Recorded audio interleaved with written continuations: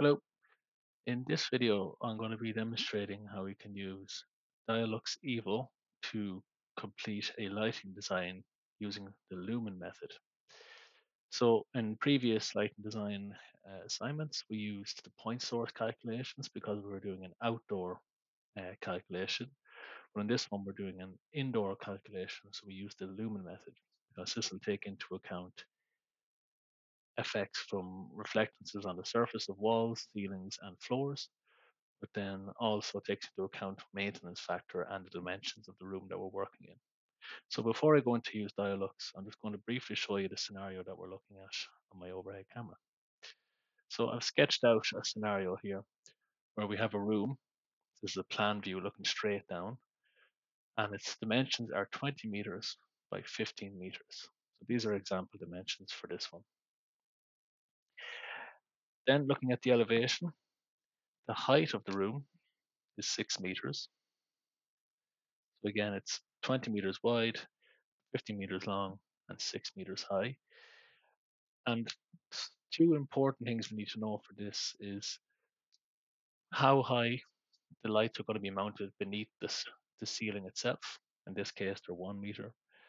And what's the height of the working plane is as well. So that's the imaginary plane that we're going to be calculating our luminance at. So again, to remind ourselves, this is the lumen method. So we can use the lumen method to work out what will be the average illuminance across this whole surface.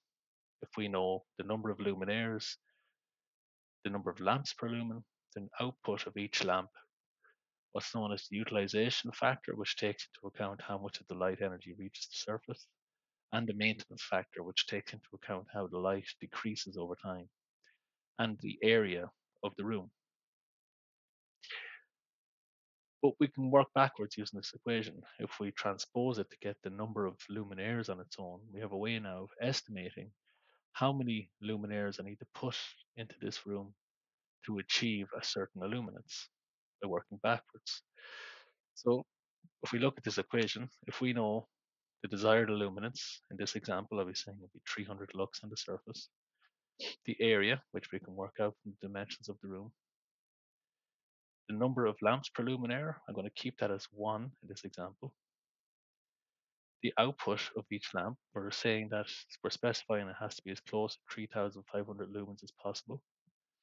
The utilization factor, which depends on the room index and the dimensions of the room. And for this example, I've calculated about 0.705, but this does depend on the manufacturer's data sheet. So this is a, this isn't something we put, uh, put into Dialux. And finally, then the maintenance factor, which for this example, I'm keeping at 0.8. So with all that information, we can use Dialux then to put together a design for this room. So looking back at Dialux, this time we're using simple indoor planning. I'll start this up.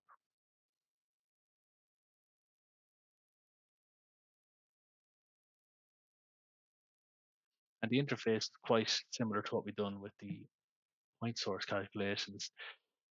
You can see we have a construction tab, a lighting tab, and will be a calculation as well. But we can start off by providing some information about a room. I'll call this one example room. And description is demonstrating the Lumen method, but you'll be putting in a more appropriate description for your own scenario. I'm able to put in the dimensions of my room. So if we recall from my own example, I'll pull these up on this side of the screen so you can see them as well.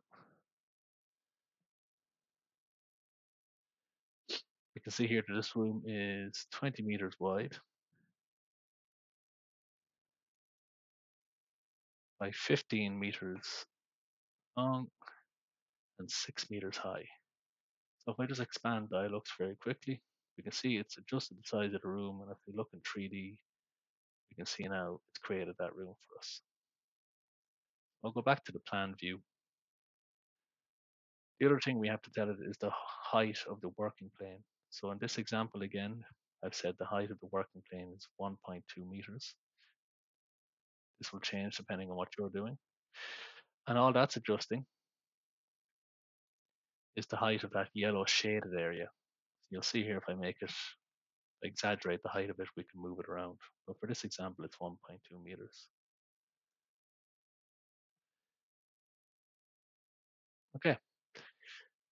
As I said, the maintenance factor you can adjust here staying at 0.8. The last thing we have to make sure is that the surfaces, the reflectance of the surfaces are input correctly. So we do that here with materials. We tell it how much of the light that lands on the surface, how much on average is reflected from the surface. For this example, I didn't note it on the sheet, but for this one, it's 70, 50, and 20% respectively for those values. But that can change, and you'll see that when you do your theoretical calculations. So at this stage, we have the construction of the room complete. So the next one is to determine a suitable light to put into the room. If we go back to the details here on the right, I said I wanted something close to 3,500 lumens with one lamp per luminaire. So I just happen to have one here at the moment that's already been brought in from Lumen Search. You'll have to go do your own search. But uh, in this one, we can see here that it's 3,630. There are other options if I want. We can see here as I scroll down, different lumen outputs and different color ratings.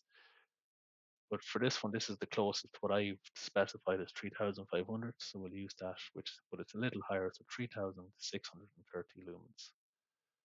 So expanding out Dialux again. At this stage, we've selected this room. We can use this option to automatically arrange a number of luminaires for this space. And this will use the lumen method in the background. I click it. You can see here it's placed in a number of luminaires in this room. So if we're looking here, it's determining, right, based on what you've told me, you need 64 luminaires to achieve the desired illuminance. And if we look back, the desired illuminance we've said is 300. But if we look at Dialux and look on the left under this tab here, we'll see the targets actually defaults to 500. So we can adjust that then to whatever we need it to be, in this case 300, and click apply again, and it'll recalculate the number of luminaires that you need to put in. Can see there I've recalculated. It's aiming for 300, so let's reduce it down to 42. And it's saying, right, that the current lux based on the measurements is about 330, but we've learned about uniformity before. We'll see what that means in a second. But one more thing we should be cautious of here. It defaults to place these luminaires uh, directly on the ceiling. You'll see here, we can see they're on the ceiling. If I go back to my scenario, I'm, I'm after saying we have to mount these luminaires one meter beneath the ceiling. So we can do that. We can go back to Dialux if we come here to position, we can change the height of the luminaires. And in this case, it's one meter beneath the ceiling, so they're going to be mounted five meters above the surface. And that's typical. We can do that. We can hang luminaires. If you look in the room you're in at the moment, you'll see that they are. Some of them are hung directly from the ceiling. It's good practice to save, but I won't be saving here. So at this stage, we've placed our luminaires. If we check, at this stage now we've placed our luminaires at the right height. We've got the dimensions of the room set correctly. The only thing we need to do now is calculate our results up top.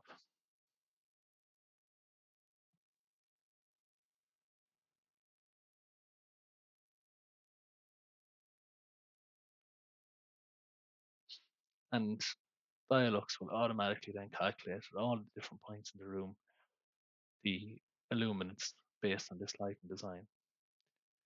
So the final thing you need to show for this assignment is what is the average illuminance across the floor. We can see here it's 300, or sorry, the working plane. We can see here it's 348 lux. So it's higher than what we ran before, but the uniformity as well, as you can see, it's not perfectly uniform. And you can adjust your design for that if you need it. If we select one of the luminaires, because it'll be a group of luminaires, you see here the results coming out at 42. Okay, so that and that stage that's your simulation done. So your next step will be to carry out the calculations using the equations you can see here on the right to see how does your simulated result, in my case 42, compared to what you'll get in your theoretical. But for your assignment, the values will be different. So, okay, thanks for watching.